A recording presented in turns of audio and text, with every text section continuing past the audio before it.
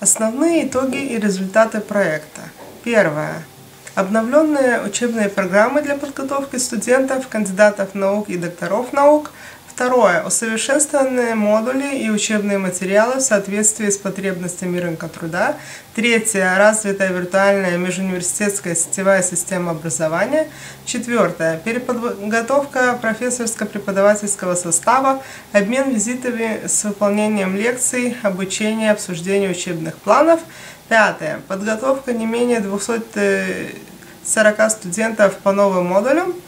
И шестое. Установление связи по развитию проекта, инновации, обмена идеями и распространение информации.